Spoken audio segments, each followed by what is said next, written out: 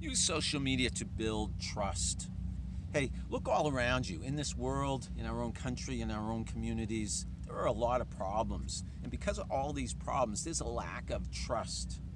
People don't trust each other like they used to. And that includes consumers not trusting brands and businesses.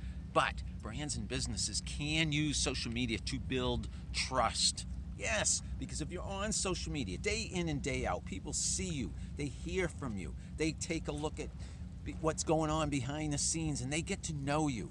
And the more they know you, the better the chance that they'll come to like you and come to respect you and come to do business with you. So, people, lots of lots of skepticism in this day and age out there. You want to overcome that. You want to use social media to build trust with your audience.